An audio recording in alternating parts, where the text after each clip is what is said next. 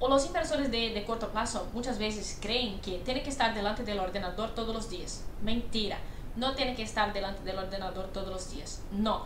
Pero al menos una vez a la semana echar un vistazo a los gráficos de las acciones a ver cómo están las cosas. Y hoy con el teléfono podemos eh, descargar las aplicaciones de, de, los brokers que trabajamos y mediante el teléfono echar un vistazo al gráfico de las acciones, acompañar nuestras operaciones.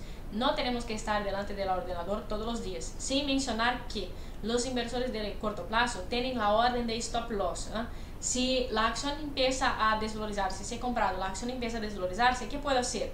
Puedo poner la orden de stop loss y a medida que la acción baje a un determinado precio, voy a vender estas acciones, admitir que he perdido una cierta cantidad de dinero y seguir con mi vida adelante. ¿eh?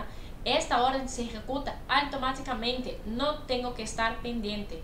Entonces hay que avaliar muy bien. ¿eh? Por eso a mí me gusta invertir a corto plazo. Porque yo veo el, el movimiento que está haciendo las acciones de acuerdo con el análisis técnico, de acuerdo con la teoría de tal, y invierto en dirección de la tendencia. Una acción que está se revalorizando es una acción que pienso en comprar. Una acción que está se desvalorizando es una acción que pienso en vender. Pero yo tengo que salir comprando y vendiendo todas las acciones. No.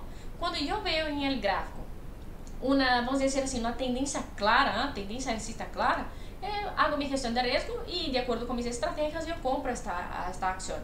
Y hago lo mismo con las acciones que están en tendencia bajista. Veo que es una tendencia bajista clara, entonces yo hago mi gestión de riesgo y hago las operaciones de venta. Y ahí está. No sigo haciendo operaciones a lo loco sin saber por qué estoy comprando, por qué estoy vendiendo. Uh, vamos a decir, ¿dónde voy a poner mi stop loss, mi gestión de riesgo? No, no hace falta querer hacer uh, inversiones, operaciones en todas las acciones que cotizan en bolsa. No, hacer operaciones uh, que se adequen a tu sistema de trading, a la manera como tú inviertes, ¿eh? de acuerdo con, también con tu tamaño de capital. Entonces, todo eso, hay que ser, vamos decir, hay que pensar en todo eso antes de simplesmente salir comprando e vendendo acciones.